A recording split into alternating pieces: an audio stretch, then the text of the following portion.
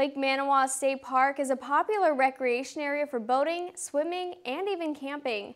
And later this year, contractors will rehabilitate part of the lake to make it better for the environment and users. A presentation at the Western Historic Trails Center May 7th shows the public how, when, and what will be done. Lake Manawa is one of the busiest state parks in the metro.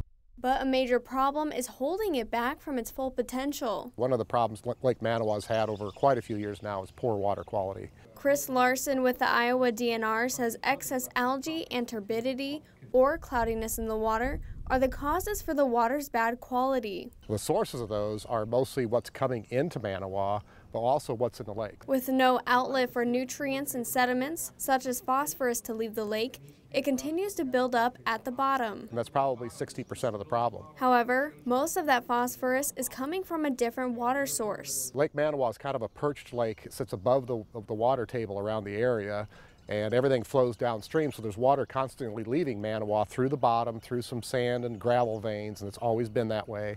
So we have to pull a lot of water off of Mosquito Creek to keep water levels stable. The DNR brought in FYRA Engineering to do a study on different ways to reduce the algae and murky appearance at Lake Manawa. We need to do two things. Uh, number one, clean up the water that's coming in from the watershed, but also to by dredging Lake Manawa, we create extra depth there that allows us to um, dilute some of the pollutants that are there more often and, and uh, eliminate some of the resuspension of materials that occur on Lake Manawa with the wind and the boating activities. The first effort in cleaning the lake is to dredge 500,000 cubic yards south of the land that comes down in the middle of the lake. That's where the, the depth of clay above the sands that we're looking for to dredge uh, that's where the, that's thinnest. So it allows us to get to the target, what we call the targeted sands, uh, a lot easier. Contractors will remove some of the sand, which will help with the restoration of Lake Manawa. We not only want to deepen the lake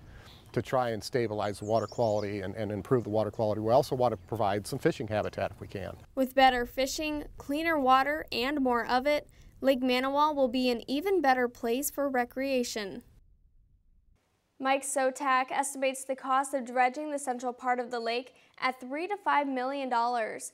Bids will go out this summer and the work will begin sometime in September, depending on the dredging contractors. This is the initial stage of what is expected to be a $20 million project. Chris Larson also notes they're not at the point where the fish will be affected.